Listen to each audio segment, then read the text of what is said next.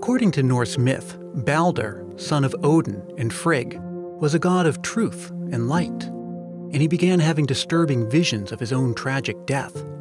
So Frigg set out to command every plant, every animal, and every inanimate object in the universe to swear an oath never to harm Balder. And the plan appeared to work. It worked so well that the other gods would make a game of it during a celebration that was held in honor of Balder's new invincibility. If nothing in the universe could kill Balder, then you could throw literally anything in his way and he'd walk away unscathed. And so they did. And that caught the attention of Loki, a god known for playing tricks and generally upsetting the status quo. He was able to find out that Frigg had actually neglected to ask one thing to swear an oath of no harm to Balder. It was the small and harmless plant that usually was found growing off of other trees. With its tapered oblong leaves and its small white berries, Frigg had assumed that it was harmless to begin with, and so there was no need to solicit an oath. Loki went to the forest and found some of the plant and tore off a branch, and then he returned to the party. And there he tricked Balder's brother to throw the branch at Balder. The branch pierced Balder's heart, and he died. And that plant was mistletoe. So, why would mistletoe play such an important role in a story like that? And how do we get from an ancient myth about it killing a god to a modern custom of kissing beneath it at Christmas time? It's a story of superstitious ancestors, fertility rituals, the Protestant Reformation, and birds doing their business. I'm Brian Earl. This is Christmas Past.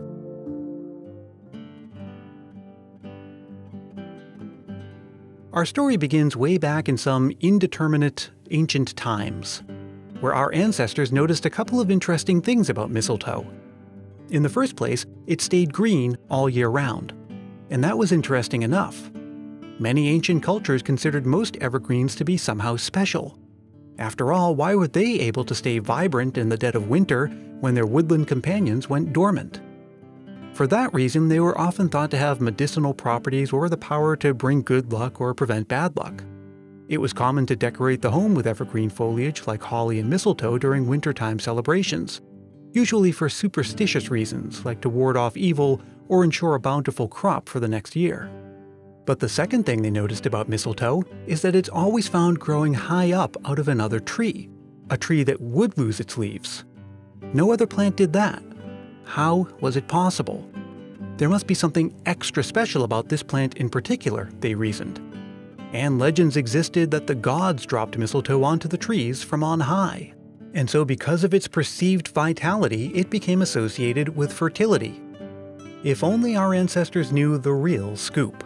Mistletoe is a parasitic plant which grows on host trees, and the plant uh, lodges into other trees and photosynthesizes, but takes its nutrients from the tree. That's Mark Adams. His family owns the Kiss Me Mistletoe Farm in England. Mistletoe relies on animals to propagate. Birds and some other animals would get the sticky berries, which are also the seeds, onto them somehow, and then try to rub them off on other trees. Or a bird could excrete some of the indigestible berries onto a tree, and the bird droppings helped to lodge the seeds onto the tree's surface. In fact, the word mistletoe that we use today is derived from an earlier word in Old English that translates to something like droppings twig. Apparently, sometime in the Middle Ages, when Old English was spoken, someone figured out that it wasn't the gods throwing the plant from on high, but rather the birds doing something a little more earthly. Nonetheless, the myths and legends and customs and associations persisted. It was still used medicinally. It still is, actually, or at least as an alternative medicine, and it was still used as part of rituals and customs and wintertime celebrations, of which Christmas eventually became one. We do know, according to historian Gerry Bowler, that some medieval English homes hung an effigy of Jesus, Mary, and Joseph, the Holy Family, inside of a wooden hoop decorated with winter greenery under which it was customary to exchange an embrace or kiss. After the Protestant Reformation, that image of the Holy Family disappeared, and the kissing bunch, or kissing bough as it was known, a collection of greenery that often included mistletoe, remained as a Christmas custom. And as a matter of fact, before the Christmas tree became the main evergreen foliage on display in the home at Christmas, which wasn't really all that long ago, it was mistletoe and holly that took that starring role. And that didn't sit too well with some people who saw it as a symbol from pre Christian times. It was actually seen as a, quite a dirty plant by Christianity, so its connection with Christmas has not been that clear cut. In a lot of churches in the UK, it's still banned. It's seen as a pagan plant. Pagans were not seen in the best light in the UK in the few thousand years after. It's also likely that up until the 19th century, that custom of the kissing bough was something you'd see only among the so called servant class. But eventually it became more widely accepted, along with the English custom of how the kissing worked. But the British tradition is every time you have a kiss, you should take a berry off. So the more berries you have, the more kissing is going to happen. When all the berries are gone, the mistletoe no longer has the power to compel people to kiss underneath it. Though it does serve another use. A common practice in the United Kingdom is regarding what you do with the mistletoe after. One of the traditions is that you keep it for the rest of the year and then only replenish it the next year round. It's supposed to ward off evil, evil spirits in the pagan tradition. So you keep it up all year so it dies and shrivels up. Now, of course, our American tradition is just a continuation of that English tradition, which isn't the only game in town. Every all the European countries have slightly different twists on the how they do it. I know in Italy the tradition is actually to hang the mistletoe up for New Year's Eve rather than for Christmas. And um, in Germany, for example, they do it for the first Advent, so they hang up all their Christmas decorations a lot earlier. So it's you know end of November, start of December. So if it's the Christmas season that has you feeling festively romantic, Mark has some pretty simple advice for you. Just hang up more mistletoe. That's your best way.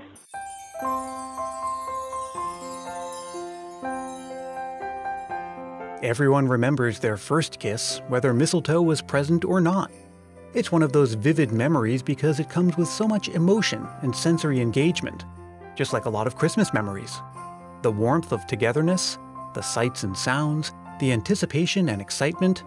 We all know that feeling, so we can all relate to Kevin in Chicago who shares this Christmas memory.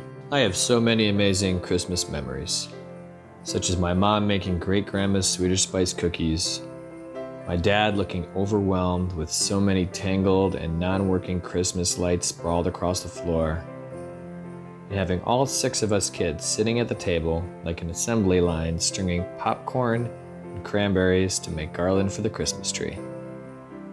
Those were always my favorite trees, and they were even better when my mom would give in to letting us put tinsel on them, which she hated because it got everywhere. Still, I think the most vivid memories were from Christmas Eve when all six of us would insist upon sleeping in our older sister's room. We had two kids on the bed, two on the trundle bed, and maybe even one or two of us underneath the bed. Clearly, we wanted to be together, but an underlying motive may have been so that no one saw the gifts before anybody else. Even so, in the morning, someone would always sneak out, sneak a peek at the gifts, and they couldn't wait to report back what they saw. Soon all the kids were downstairs and clamoring to get started. But for some reason, it was always harder than usual to get our parents up and out of bed.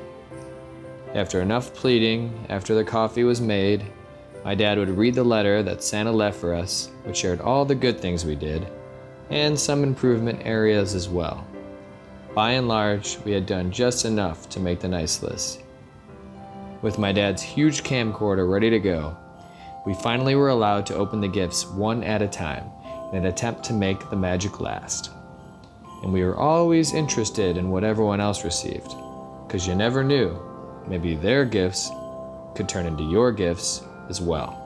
I'd love to hear your Christmas memories and I'd love to share them with the rest of the Christmas Past family. It's easy to do and there's still time for this season. Just record a voice memo into your phone and send it to ChristmasPastPodcast at gmail.com. Try to keep it to roughly a minute, make sure it's clean and family friendly, and be sure to say your name and where you're from. Christmas Past is produced in sunny San Mateo, California by yours truly, Brian Earl. Thanks so much to Kevin in Chicago, and thanks also to Mark at Kiss Me Mistletoe Farm. You can visit them at kissmemistletoe.co.uk. I'd love to know how your Christmas season is going so far, so let's keep in touch. You can send me an email anytime or join the conversation on social media. Just look for Christmas Past on Twitter and Instagram, and do make sure to join the Facebook group because we're having fun there all year round. And if you're feeling the Christmas spirit, why not help more people find the show by telling a friend about it or leaving a review on Apple Podcasts? Those are quick and painless ways to help support the show, and they really do make a difference. If you leave a review, I'll even send you a sticker to say thanks. Message me for details. We'll meet again soon, and until then, may your days be merry and bright.